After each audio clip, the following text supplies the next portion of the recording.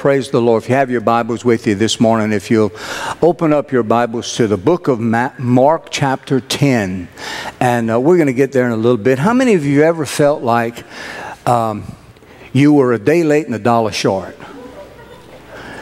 You ever felt like you got someplace and the sale ended yesterday? You got someplace and, the, and, and it just seems like they ran out right before you got there. Have you ever been to the place where you just you, you, you left and you just say, Man, I was at the right place at the right time? Have you ever felt that way? Just a couple of days ago, Pastor B and I uh, went to a, a, a local department store and uh, you know, we're, I was, uh, those of you who knew, I've, I've lost about 50 pounds over the last number of years. And so I was wearing uh, my older clothes, and, and all of it was big. And, and some people graciously told Pastor B that, that we need to buy Pastor a new suit. Um, those look, he looks like they're hand me downs. Uh, and, and, so uh, Pastor B said I was wearing tents. And so it was time to get a, a, a little bit more updated wardrobe. And so we went, and, and you know, we found that this one, one place they had clearance and I bought a sport coat, a $160 sport coat for $49.95. And you put it on your credit card and you were able to get another 20% off. So I walked out with a sport coat, one just like this, for, for just, you know, real cheap. So I figured, man, we're the right place at the right time. How many of you ever been to a to place somebody says, well, Dillard's is running the sale? and you run over there and it ended yesterday. Why am I late? You see, in life, there are moments, there are seasons, and there are times when, when we have to be at the right place. We have to be at the right time in order for us to seize that opportunity, seize that moment, because that moment can be fleeting. That moment can be can be so fleeting that if we're if we're just seconds late, we miss it. And so it's important to recognize we're going to look at a classic story in the scriptures of a man who was at the right place physically and the right place spiritually. You realize that you can be in the right place physically, but not be in the right place spiritually and miss out on what God has for you. But I guarantee you that if you're in the right place spiritually and you're led by the Spirit, He will bring you to the right place physically. Because God doesn't want you to miss out on His grace, miss out on His goodness, and miss out what He intends for you. Oral Roberts said this in one of his books. It's just stuck with me when I read it. It's like it just it just latched onto my heart and, and it just won't let go. He says, Your miracle is either coming your way or passing you by. And it's all a matter of recognition. It's all a matter of recognizing that moment, that, that, that, that sensation. And very often we, we don't recognize the moment for what it is because it may look like any other moment, any other routine, any other day. And all of a sudden, that day, that moment turns into a, an opportunity that changes your life life forever. The challenge is we need to recognize that moment. The story here in Mark chapter 10, verse 46. It says, Now they came to Jericho, and as he, Jesus, went out of Jericho with his disciples and a great multitude, blind Bartimaeus, the son of Timaeus, sat by the roadside begging. And when he had heard that it was Jesus of Nazareth, he began to cry out and say, Jesus, son of David, have mercy on me. Then many warned him to be quiet, but he, he cried out all the more, Son of David, have mercy on me. So Jesus stood still and commanded him to be called. Then they called the blind man, saying to him, Be of good cheer, rise, he is calling you. And throwing aside his garment, he rose and came to Jesus. So Jesus answered and said to him, What do you want me to do for you? The blind man said to him, Rabboni, that I might receive my sight. Then Jesus said to him, Go your way, your faith has made you well. And immediately he received this sight and followed Jesus on the road. There's a lot in that verse of scripture, but if we're not careful, all we see is the surface. All we see is what happens to Bartimaeus. All we see is some of them, the, some of the overall features, the overall things that take place. I want you to know that he had to be at the right place. He had to get into position. Now you recognize Bartimaeus was blind, and more than likely that was his routine. Day in and day out, week in and week out, month in and month out, year in and year out to go to that corner to go to that spot on that street. That was his territory. That was where he begged for alms. And more than likely, every day he would say, he'd cry out, alms, alms for the blind, alms for the blind. And every day he did that. What would have happened? Had that morning, he said, I don't feel like going over there today. I think I'm going to stay home and get a little extra sleep. I don't believe I'm going to go to my spot that I've been, and nothing happens in that place. Somebody drops me a coin every few hours. Somebody drops me a coin, and I hear all of the world going by. I hear all of the rustle and bustle. I hear all of the people going by, living their life, and mine is stagnant. Mine is dead. All I'm doing is just begging. I think I'm going to stay home. Life is not fair what would have happened on the one day that Jesus is coming by? Now, undoubtedly, Jesus may have gone in and out of Jerusalem more than once. I'm sorry, Jericho more than once. But in this case, this was absolutely the last time he goes to Jericho, the last time he's leaving Jericho. Had, had Bartimaeus missed it at that moment, he would have missed it for the rest of his life. And I say that to say this. You know, there's sometimes that we, we, we, we hear the announcement, we, we, we go to church and we, we do a routine and we get into a habit and we do this and we do that and it just doesn't seem like anything is really happening. Well, why do I want need to go back to church? Pastor's always teaching on faith or pastor's always teaching on prosperity or, or, or we get this and we get that. We got three songs, a sermon, we go home. There just doesn't seem to be anything. Listen, you never know when the Spirit of God's going to show up, and this will be your service, and it'll be your moment, your opportunity. It's not a matter of what you didn't get in the past, it's a matter of what you can get today. And you know, it's not just it's not just going to church. It's it's prayer. It's spending time in the presence of God. It's doing all of those things to get us into that position so that we can receive. You realize he was in the physical place the word says that his name was Bartimaeus, the son of Timaeus, and that's what Bartimaeus means. The word Bart means son of or son of Timaeus. And, and, and the research that I've done, he was the son of someone who was highly prized, someone who was honorable, and well, how, how low and how humiliating and how uh, uh, digressing it is for a man whose son is at the gate begging for alms. And, and, you know, I don't know how old Bartimaeus was, but when you look at the word blind, it says that it, it really has some connotation of being cloudy. My indication, my heart says the man was up in age and now he has cataracts and he can't see. I don't know if that's the case. I'm not sure if that's it or not, but it's possible that could be the case.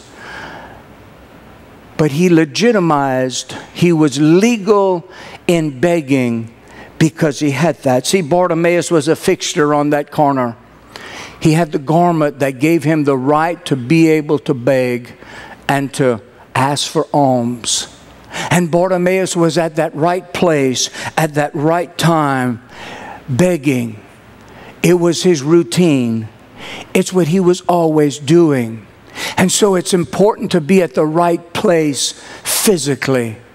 But there's something else that brought Bartimaeus to a place of spiritual rightness or uh, in the right place spiritually. Notice there was something about it in, in the Gospel of Luke. It says he heard about Jesus. He heard that it was Jesus.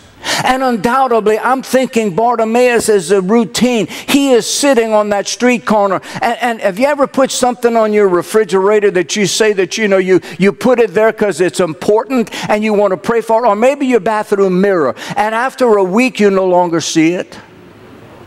After a week, you no longer see that thing on your refrigerator. You open and close it hundreds of times a, a week. And, and that picture, that saying, that thing that you want to keep before your eyes, you don't see it anymore. Why? Because it's routine. I believe that's what was happening with Bartimaeus. He was at that street corner. People would go by off, back and forth, back and forth, and nobody paid him any attention. Just every once in a while, somebody would drop in a coin in his little bucket back in the 70s, when I worked for my dad, we would travel the Evangeline Thruway to and from work. And there was a large man, probably disabled, sitting on a, every single day until one day he wasn't there and I'd, I'd see him every day. I'd, I'd drive by and think, what a boring life. I don't know him. I didn't know what was going on in his life. I don't know why he was in that place. But we drive by every day until one day he's not there. And that chair stayed there for years after he was not there. And I'm thinking that just kind of reminded me this is Bartimaeus. People walked by him and he was he was there but he wasn't there. And undoubtedly, he's hearing the people talk about this, this Jesus and how he opened blind eyes and he opened deaf ears and he made the lame walk and he raised people from the dead. And he heard about this Jesus, and something inside of him said, If that Jesus ever comes down my road, I'm not going to let him go by without me grabbing hold of what it is I need. I'm going to seize that moment. I'm going to seize that opportunity. And so when they come and there's a tumult, there's a there's a multitude, there's a crowd, and, and so he asked, What is this all about? And they said, It's it's Jesus. he said, Here it goes, here I am. I am in the right place at the right time. I am gonna get my miracle. I'm going to get my answer. And so he began. See, what happened was, see, faith comes when we hear something.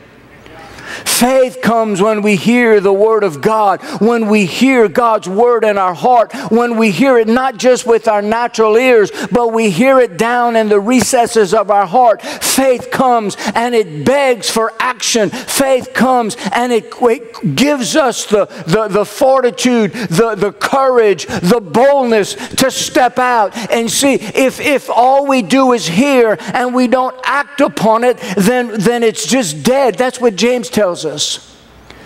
It's not alive on the inside of us, but by faith comes by, by hearing, by studying, by, by, by speaking it out, and then, and then we act upon it. And what was his action? His action was his shouting out, his crying out. It's interesting because the two words cry are not the same. The first one was, uh, Jesus, son of David, have mercy on me.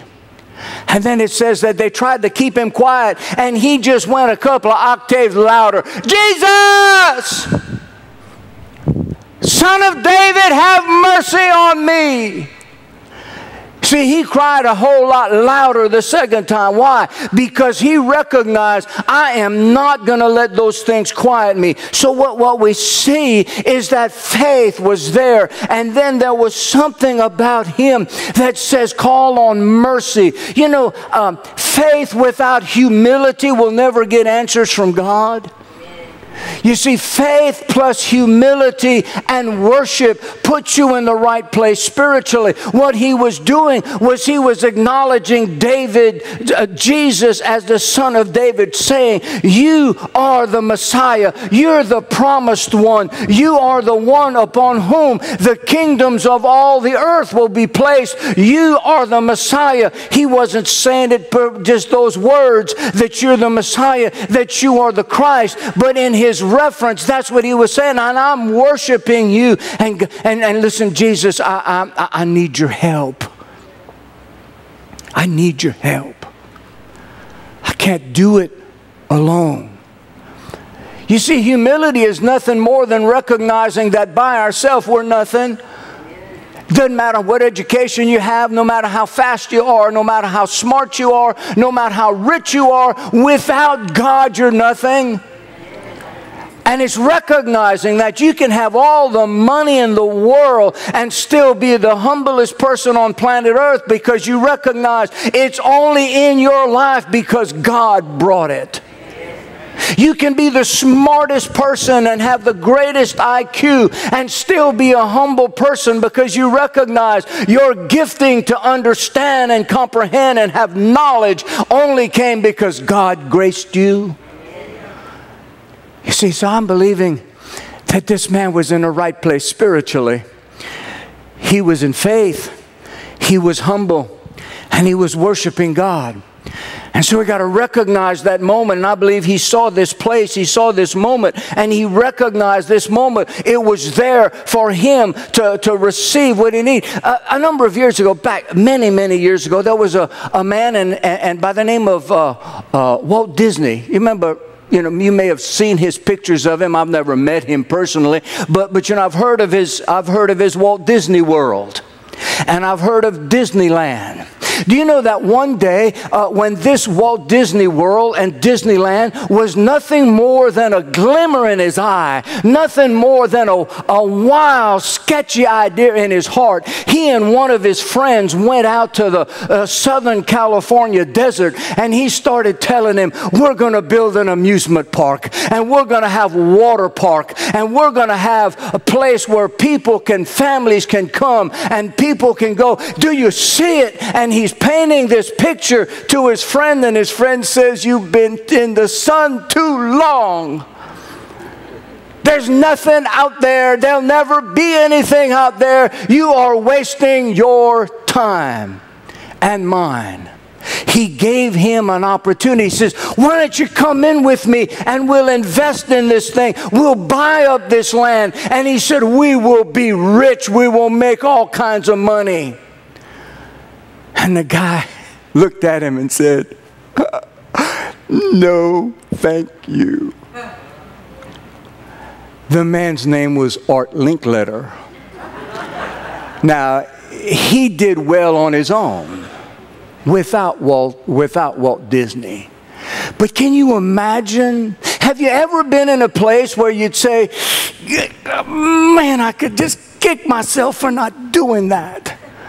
For not buying that, for not being there, for not doing this. I could just kick myself. I, I, I, am you know, I'm just.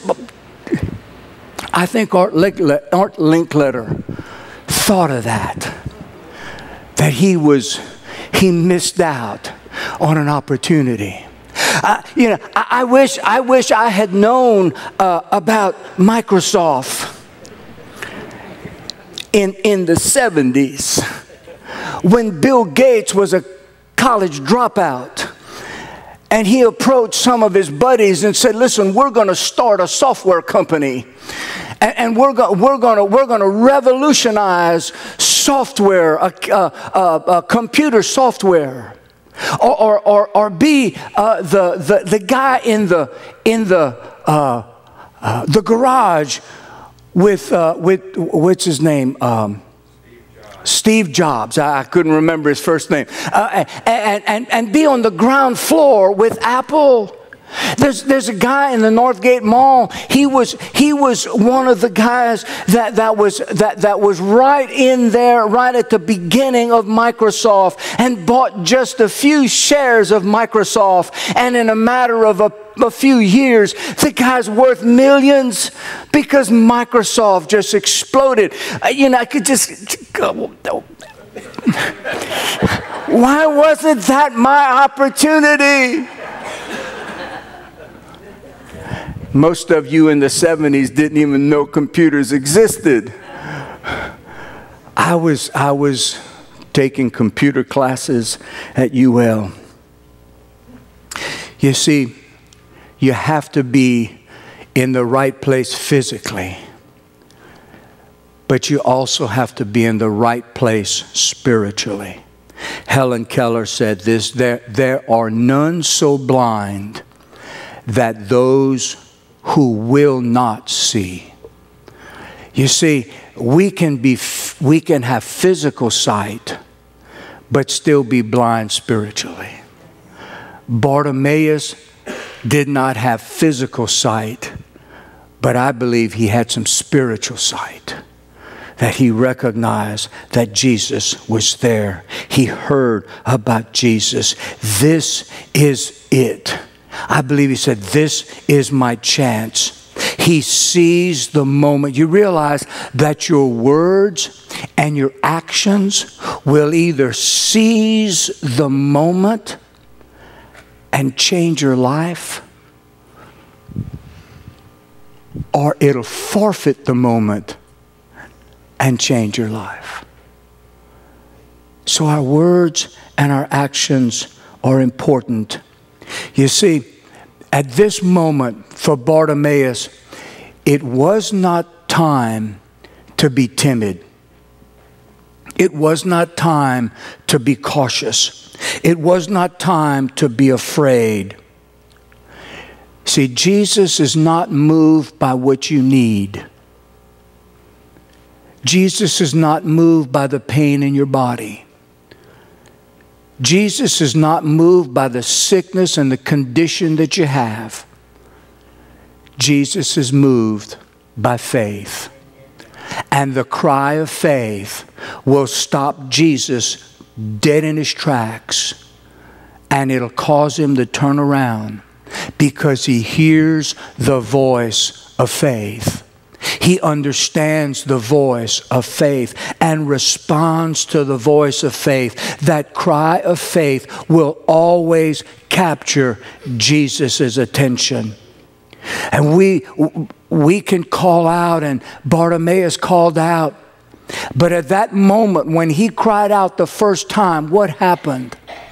There were those who were traveling with Jesus. Now, it doesn't say his disciples, it says some of the multitude, some who went before him, some who were traveling ahead of him, said, Be quiet, quiet down, don't disturb the master. You see, all of us, listen, every one of us will have that, those same voices that'll tell us when we are in the, in the throes of that moment, we are on the threshold of that moment, we are right in the beginnings of that moment. There's going to be the voice of reason that's going to come out and say, Man, you're just too far gone. It's too late. You'll never get anything from him. You, you, you know, he's, he's too busy to bother with one person. Or you hear the voice of saying, Listen, you've been prayed with time and time again. You've been prayed with by the best of them. You've had hands laid on you. You've had oil laid on you till you felt like you took a bath in the oil, especially if you were at a Schambach meeting and you were, you, you, you, you just felt, you know, you've had all of these opportunities and you have come out of those none better. And, you know, you say, Well, you know, I, I, I don't know if it's going to work this time. The voice of uncertainty will keep you from trying that one more time. the voice of summing failure. You know, the voice that says, Man, you missed it. You've blown it as a husband. You've blown it as a man. You've blown it as a wife. You've blown it as a, as a father or as a mother. You've blown it. You, you've just made all these mistakes. You've done all of those things. And the, and the guilt begins to rise up and the shame begins to rise up. And the thought that how could God do anything for somebody as wretched as me? You got to realize that you're the one He did it for. Amen. You're the one that Jesus came for. He didn't come, Jesus said, I didn't come for the righteous. I came for those who need righteousness. I came for those who were the sinners, those who missed it. I came for you. And so we recognize that we can't let those voices of doubt, those voices of religion, those voices of guilt, those voices of condemnation, those voices of failure to steal that moment and that time that's right there. And they said, Be of good cheer. In other words, they said, Take courage, boy. Just, just, it's, it's here, here it is. Now's your time. Just take courage, be of good cheer, be, be bold. Come on and, and get up because he's, he's calling for you. And so the word says that, that Bartimaeus pardon the, the dark green. I'm not sure he wore that. Keep you awake. He took his jacket off, he took his coat off, and, and it says, and he cast it aside. It was, it was saying that he is taking his present position where he is. And you realize that that coat, that, that garment was his legal right to beg alms. And at that moment, he's saying, I am going into the presence of Jesus and I'm not coming back to this street corner. I'm not coming back to this place. I'm not going to pick up that garment because I will not need it because from this moment on, my life will be different. And then Jesus asked him a question.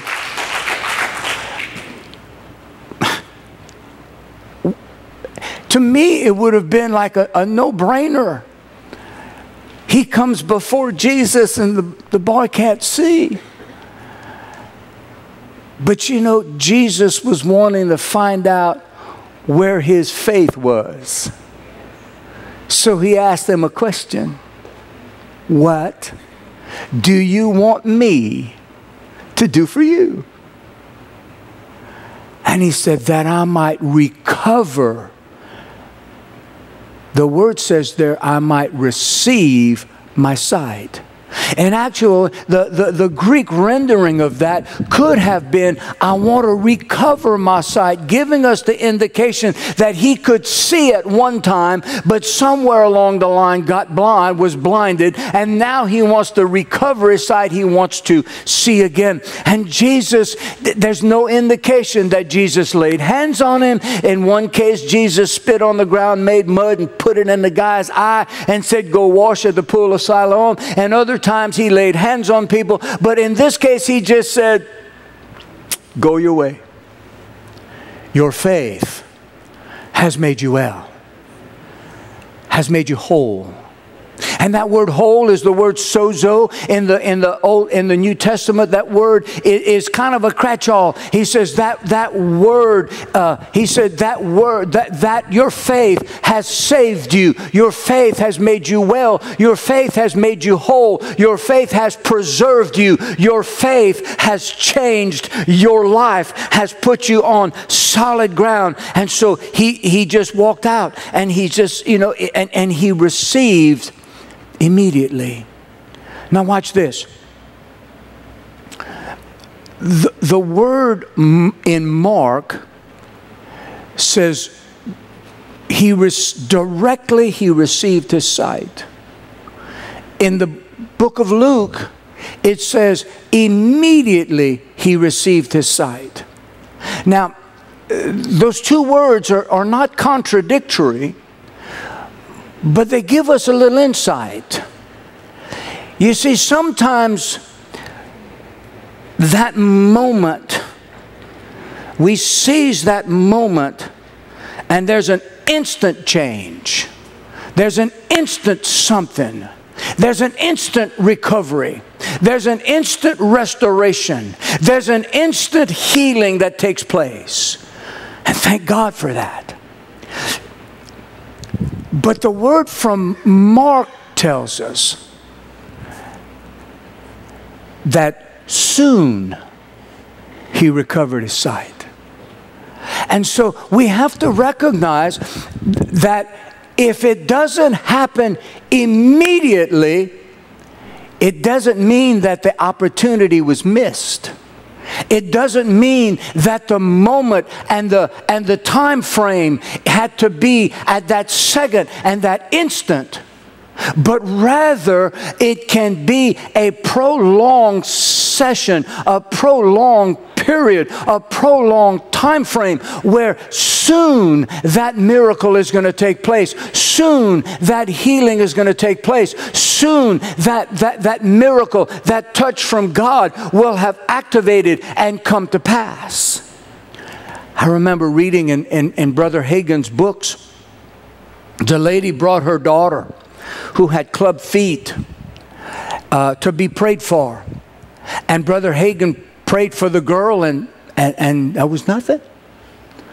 Didn't see any change from the natural. Didn't see any change in her feet. And she was just discouraged. And Brother Hagin saw the discouragement. He says, Don't let go your miracle. Don't let go this opportunity. Don't let it go, but stay on it. Keep speaking it. Call her feet normal. And three days later, she's giving her daughter a bath, and she starts hearing popping, and she starts hearing crackling, and she starts hearing all kind of things in the water. And she visually saw the baby's feet come out and change and grow the bones, and all the bones were normal, and she had the regular feet, and, and, and, and her miracle took place, but it was three days later. So I'm saying that to say this that we're going to share communion with you in just a little bit. I believe that it is a it is a moment of opportunity for the issues and the difficulties that you might be having in your life and and you may not see any change immediately, but don't throw in the towel. Don't quit. Don't say, "Well, I guess I didn't get anything." No, just simply say, "I have tapped into the anointing. I have tapped into the power of God and I'm going to have my miracle. I'm going to come. I'm going to receive that that I need from the Spirit of God. And so when we receive communion, you see, I, I, I'm, I'm, I'm, I'm ready to. I see these things in my spirit. I see people getting their, their miracle in here. And, but I'm ready to see it right here. Amen. And so I believe that this can be a, a an opportunity for you. I, you know, there's there's a number of people that that that I know should have been here this morning. Been contacting them and visiting with them during the week, and I'm going to be there Sunday. I'm going to be there Sunday. I got, got this. I got that. I got this. I, I'm going to be there Sunday, but they're not here. Doesn't mean they can't get it. Doesn't mean they'll have to do without it, at least for a season. But what I'm saying is there's just one touch of the anointing, one touch of the glory, one touch of the, the, uh, of, of the grace of God can change your life forever, and the, your life will never, ever be the same. You're in, I believe, you're in position physically. Because I can see you. You're here. Some say, well, Pastor, I can't be there in the natural, but I'm going to be there in the spirit. Well, that, that's, that's a good thing. You know, that's great. I'm glad you, glad you pray and glad you, you feel like you're part. And, and, and sometimes that is what you have. Uh, uh, but on the other hand, uh, you know, Bartimaeus could have stayed home and said, Well, I'm there on the roadside, and I guess if anybody wants to give, they'll just put it in my bucket right there by the roadside. No, he'd have missed out on what God had intended for him. I believe this can be your moment. Now, eh, and, now I, am gonna I'm gonna say something because I don't always I don't believe that the physical healing that Bartimaeus received was the only thing he received. I believe there was some emotional healings that took place. I believe that there was some, some connections that were, that were lost, that were reestablished. You know, I believe that, it, you, you know, your, your need today, your miracle today might not be a physical miracle. It might be something emotional. It might be something relational. It might be something deep in here, deep in here. You, you, you, may, you may need to be healed of, of rejection. You may need to be healed of bitterness. You may need to be healed of, of, of guilt, of, of any number of things. But I want you to know this morning that, that we may not see a physical manifestation in you because we look at you and you look good. You don't have any, you don't have any pains, you don't have any aches and pains. But so often we've put these barriers over us where I can't see your hurts and I can't see your pains and I can't see your aches and I can't see your loneliness and I can't see what's going on inside of you. But I got you, you got to know Jesus Jesus knows what you need. Now, now, now, Jesus said this He says, The Father knows what you need before you ask. But we recognize that it doesn't mean we should not ask. It means He knows and He's ready and he's capable and he's willing and he, he knows and he's capable of handling anything that you have need of. And so this morning, when we're going to take the communion elements in our hands, I want you to picture yourself standing in front of Jesus, just as Bartimaeus did. And I'm going to ask you those questions. What do you want me to do for you? And you verbalize that within yourself. Or you say it softly. We don't need any, nobody else needs to know. Maybe something is extremely personal and you don't need anybody else to know. It's not important except to you and Jesus. Amen.